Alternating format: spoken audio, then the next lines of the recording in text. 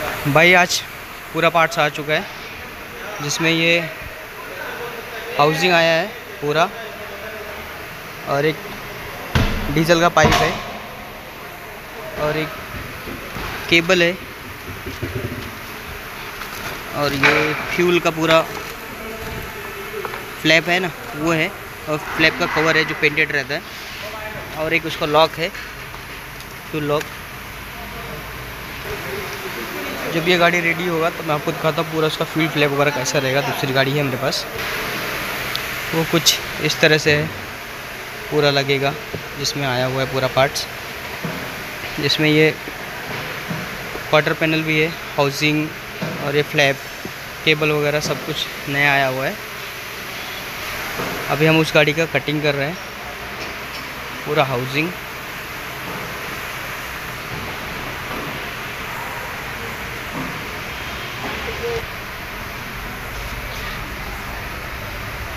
इसमें सभी इसको कटिंग करने के लिए लिया है। ये यहाँ से पूरा स्पॉट वेल्डिंग कट कर दिया है और यहाँ से निकालेगा, यहाँ से जॉइंट होगा पूरा नया पार्ट्स और यहाँ से भी ऐसे निकलेगा। और इधर इसका टॉप है। टॉप के ऊपर से भी ड्रिल मार के स्पॉट वेल्डिंग अलग किया गया है। ये भी निकलेगा यहाँ से। ये इतना, ये जो पैनल है इतना, ये तो नया आया हुआ है साइड बॉडी आपको भी दिखा देता हूँ।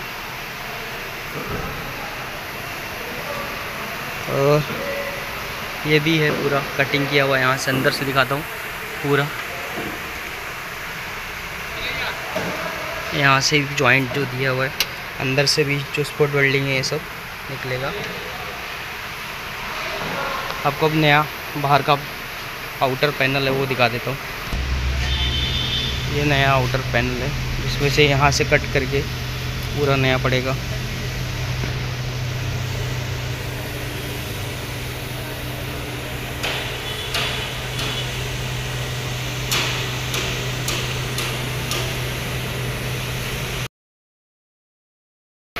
अब ये कट के निकल गया पूरा। हाउसिंग इसका साइड बॉडी का। और इसको भी पूरा क्लीन करना भी बाकी है। साइड से सब जो है। क्लीन होने के बाद फिर ये लगेगा, इसको भी निकालना बाकी है, ये भी निकलेगा। और इसको फिर अलाइन करना पड़ेगा पूरा। नया हाउसिंग लगाने के बाद। इसमें फ़र्क इतना है कि अभी ये डीजल जहाँ से डालते थे, वो सिंगल होल है और नए वाले में। ये डुअल होल दिया गया एक डीजल के लिए और एक डीएफ के लिए दिया हुआ है। इतना ही डिफरेंट है दोनों में। जब इसको अलाइन किया जाएगा, तब मैं आपको दिखाता हूँ। अभी तो ये पूरा ऐसा दिख रहा है, अंदर से। यहाँ से अलग पार्ट है, और यहाँ से भी ये अलग हो जाएगा पूरा, और फिर इसमें फिट कर दिया जाएगा। बॉडी नया लग गया है। अभी इसमें वेल्डिंग का काम चल रहा है। ये पूरा, ये दरवाज़ा भी नया लग गया है और ऊपर से क्वार्टर पैनल रख कर अलाइन किया गया है पूरा, फिर निकाल लिया गया है। दूसरा क्वार्टर पैनल आपको दिखाता हूँ, नया वाला। ये है ऐसा। आया था पूरा पूरा आगे से लेकर पूरा पीछे तक आया हुआ था।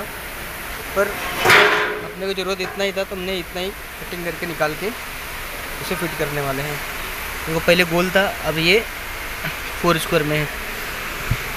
और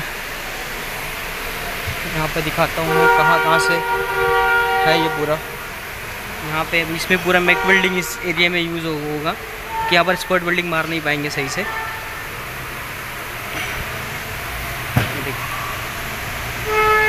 अंदर से दिखाता हूँ। अब इसका रूप टॉप भी पेंट करना पड़ जाएगा यहाँ से कटिंग किया हुआ है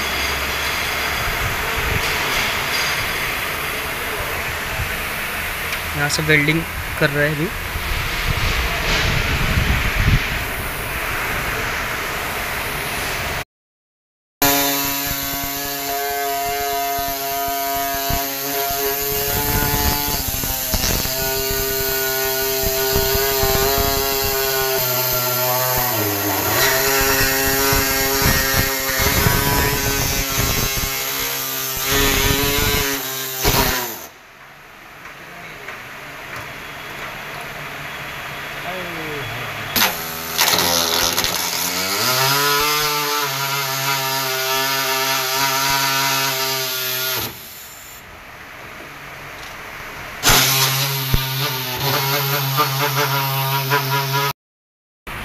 भाई, आज ये क्वार्टर पैनल लग गया है बाहर का। पूरा फिट नहीं हुआ सिर्फ़ कच्चा टाका मारा हुआ है अभी, फ़िलहाल। ऐसे एक एक टाके मारे हुए यहाँ पे। और डोर का अलाइनमेंट हो गया है पूरा। एकदम सही है। यहाँ से भी। और ये फ्यूल फ्लैप भी लग गया है। सिर्फ़ ऐसे रख के देखा हुआ है। यहाँ पे पाइप लगेगा डीजल का। और ये बंद रहेगा, क्योंकि ये बी एस फोर है। बी एस सिक्स नहीं है। यूरिया वाला नहीं है ये। बी एस सिक्स ही है, पर यूरा यूरिया वाला नहीं है। और पीछे बम्पर भी लगा के इसे देखा गया है अलाइनमेंट के लिए गैप वगैरह सही है कि नहीं। यहाँ पे हल्का सा गैप दिख रहा है, पर ये जब फिटिंग होगा तो ये चला जाएगा अंदर, ऐसे तो भी नहीं रहेगा। कल इसको पूरा अच्छे से स्पॉट वेल्डिंग और मैक वेल्डिंग जहाँ जहाँ लगेगा, उसको मारा जाएगा। उसके बाद फिर यहाँ पर जो वेल्डिंग हो उसको सैंडिंग करके लेवल करके लंबी पुट्टी भरकर पेंट कर दिया जाएगा। और आगे जैसे काम होता है, मैं आपको दिखाता हूँ पूरा। यहाँ नीचे से भी पूरा मैक वेल्डिंग मारा गया है। इस सब एरिया में और अंदर से भी मैक वेल्डिंग है। यहाँ सब। जैसे जो गैप है, यहाँ पे से बॉडी सिलेंट भरा जाएगा। जिससे गैप बंद हो जाएगा, यहाँ से लीकेज वगैरह नहीं होगा कुछ भी। अभी कहीं कहीं भी बाकी भी है। क्योंकि क्वार्टर पैनल डालने के लिए ऊपर से रूफ टॉप है, वहाँ से नीचे से भी बिल्डिंग होगा और ऊपर से भी होगा तो फिर ये मज़बूत रहेगा।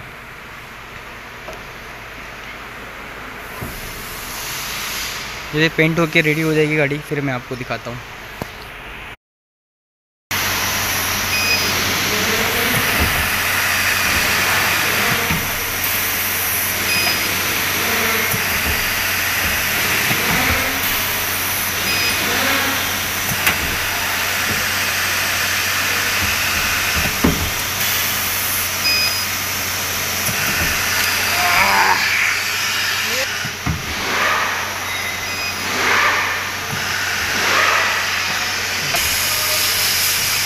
स्टार्टिंग बना यहाँ से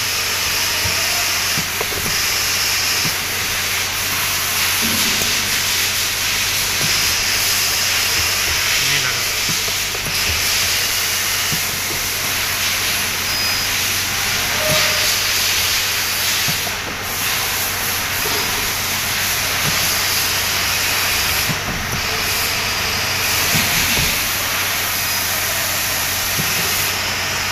अर्थिंग मशीन उतार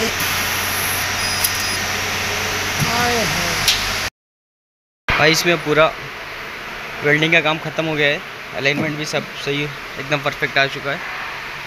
और यहाँ पर यहाँ पे जो वाइट जॉइंट था बिल्डिंग वो हो गया है। उसको सेंडिंग किया गया है। और सेम नीचे ऐसे भी यहाँ भी सेंडिंग होगा। अभी सेंडिंग नहीं किया गया है। सेंडिंग करके लेवल करके इसमें बॉडी सिलेंड भरकर पेंट मारा जाएगा। ये पूरा पेंट हो जाएगा, फिर मैं आपको दिखाऊँगा। पूरी गाड़ी गाड़ी पूरी। रेडी किस तरह से हुई है। पूरा प्राइमर हो गया है। जो सेंडिंग वगैरह था, यहाँ पे सेंडिंग करके लेबल हो गया पूरा, ऊपर और नीचे, दिखा रहा हूँ। ये यहाँ पर। और बॉडी सिलेंट भी पूरा भर दिया है, जिससे वाटर लीकेज वगैरह नहीं होगा। यहाँ पर। ये देखिए, पूरा। और टॉप पेंट नहीं कर रहे क्योंकि टॉप यहाँ पर हमने मास्किंग टेप लगाकर बिल्डिंग मारा था तो वो पेंट बच गया है पूरा। पेंट ख़राब नहीं हुआ था। पूरा अंदर का साइड बॉडी का भी प्राइमर हो गया। अभी पेंटिंग के लिए जा रही है गाड़ी पेंट बूथ के अंदर। पेंट होके निकलेगी, फिर आपको दिखाता हूँ।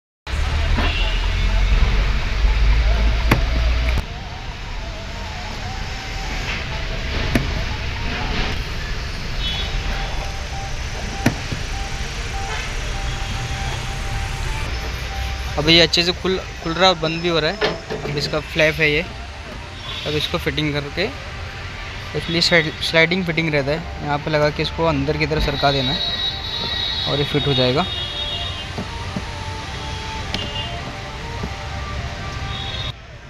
ये बिल्कुल चल ले।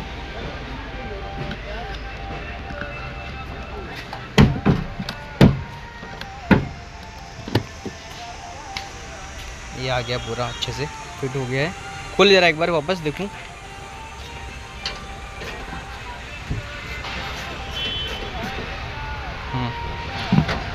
ये हो गया भाई अच्छे से पूरा कंप्लीट बाकी का फिटिंग चालू है। सीट भी फिट हो गया सीट निकालना पड़ा था, क्योंकि केबल नया पड़ा तो उसकी वजह से पूरा सीट निकालना पड़ा। अंदर का ट्रिम भी है। ये डोर भी फिटिंग हो रहा है। डोर भी नया था, आपने देखा था, डोर फटा हुआ था, ये डोर नया है। और डिक्की लगाना बाकी, पीछे का बम्पर है। और जब हो जाएगा पूरा फिटिंग फिर मैं आपको दिखाता हूँ फाइनली आज पूरा गाड़ी रेडी हो गया है, अच्छे से। फिटिंग हो गया है सब कुछ, फिर light dicky door wheel flap और डीजल का पाइप वगैरह। शॉक सब लग गया है।